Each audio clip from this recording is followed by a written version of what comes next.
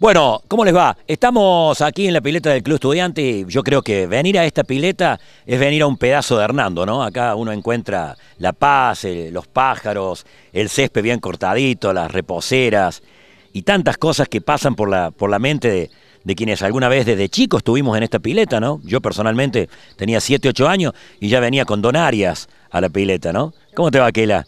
Una, una gran protagonista de la pileta del estudiante. Si hablamos de la pileta estudiante, hablamos de Kela. ¿Cuántos años Kela acá? Y casi 30 años, Mateo. 30 años. Estoy acá, que estoy en el club, eh, juntando todos los años. Después viví acá, acá vine a vivir el 91, en el 91 vine a vivir acá. Y después me fui. Y Kela, eh, ¿cómo es un día acá en la pileta? Temprano se arranca acá, ¿no? A las seis, seis y media ya arrancamos nosotros, para dejar todo listo porque es grande, te lleva mucho tiempo. Y todo es eh, barrer, regar, acomodar los tachos de basura, limpiar la pileta, barrer bajo las plantas, para que esté todo barridito lindo cuando venga la gente. Es muy familiar la pileta del club estudiante, de mucha familia. Y ah, todo eso tratan de cuidarla mucho. Esos son, le digo, esa es la familia mía, la gente de acá, la gente del club, los directivos del club.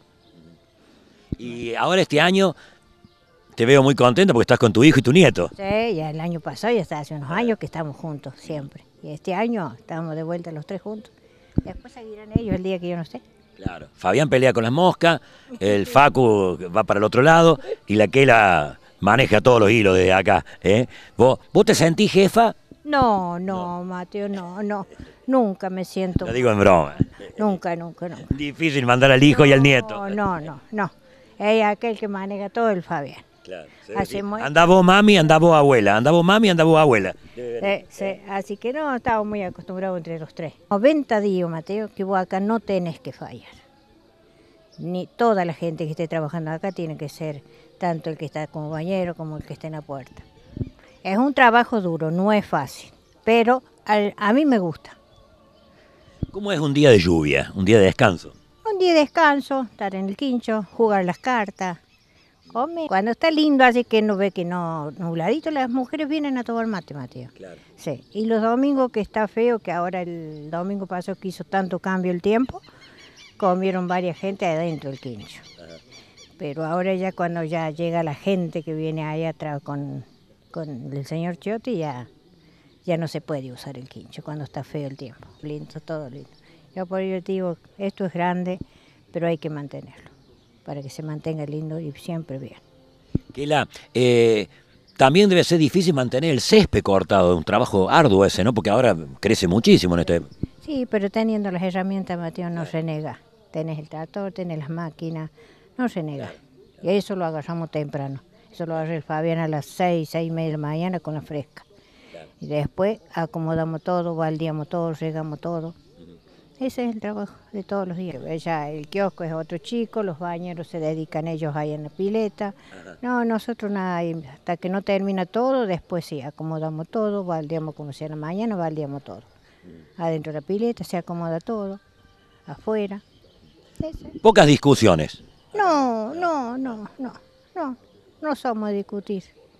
Mientras vos hagas las cosas bien, tanto para la gente del club, que te dice tiene que estar todo bien, mientras vos cumplen las cosas, Mateo, nadie te va a molestar. Yo no sé si alguna vez los habrán molestado a nosotros porque falta esto o falta aquello. Porque siempre tratamos de tener todo bien, que ellos mismos vienen los domingos o los sábados que vean cómo está todo. Y ellos se quedan tranquilos también, porque saben que uno lo va a hacer el trabajo y no tenés que renegar para son muchos años. Porque acá no se podía estar porque volaban cosas por todos lados.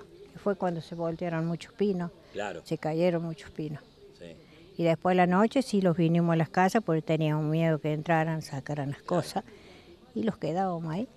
Pero si no, los resguardamos en contra de la cancha de bocha, la creciente. Lo único que no se llenó de agua fueron las piletas y el quincho.